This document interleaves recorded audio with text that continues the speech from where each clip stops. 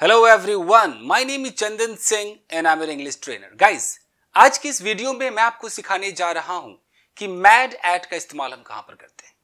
जी हाँ दोस्तों mad at अगर आप इंग्लिश मूवीज़ देखेंगे तो उसमें भी मैड एट का इस्तेमाल करते हैं। और ये अमेरिकन इंग्लिश वगैरह में तो चलता ही है मैड एट यहाँ भी लोग बोलने लगे हैं मैड एट तो इसका इस्तेमाल किस सिचुएशन में करेंगे? देखते हैं, दोस्तों।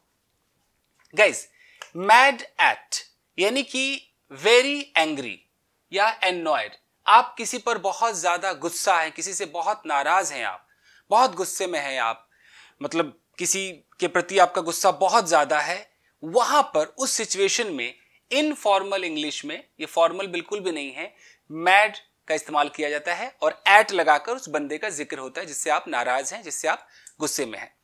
तो ये इनफॉर्मल है फॉर्मल नहीं है। अब बहुत सारे इनफॉर्मल जो स्लैंग से वो चलते हैं वर्ड्स चलते हैं एक्सप्रेशन चलते हैं तो मैड एट भी आप यूज़ कर सकते हैं और नहीं यूज़ करना है। तो कम से कम सीख लीजिए कि अगर आपको इंग्लिश मूवीज़ देखें और उसमें मैड एट आ जाए तो आप समझ सके अच्छा इसका ये मतलब है। क्योंकि आज लोग गोटा, वाना, गोना सब कुछ सब कुछ बोलते ही हैं तो सब तो यूज़ हो ही रहा है दोस्तों। तो मैड एट भी सीखिए आप। गाइस सेंटेंस है कि I am mad at you तो I am mad at you का मतलब है कि मैं तुमसे नाराज़ हूँ, तुम पर मैं गुस्सा हूँ।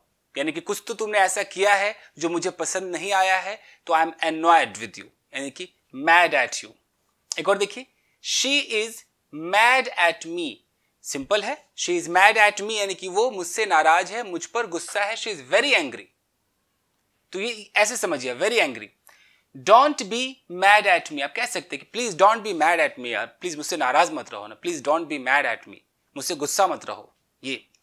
एक और है। Are you mad at me क्या तुम मुझसे नाराज़ हो? क्या तुम मुझसे गुस्सा हो? Are you mad at me I think they are mad at us मुझे लगता है कि वो लोग हम पर गुस्सा है, हमसे नाराज़ है।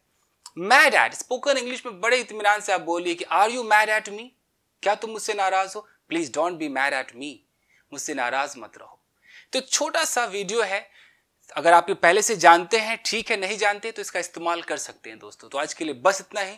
मिलते हैं अगले वीडियो में। Till then take care keep practising and have fun अगर आप चाहें तो इसका एक स्क्रीनशॉट ले सकते हैं फ्रेंड्स थैंक यू गाइस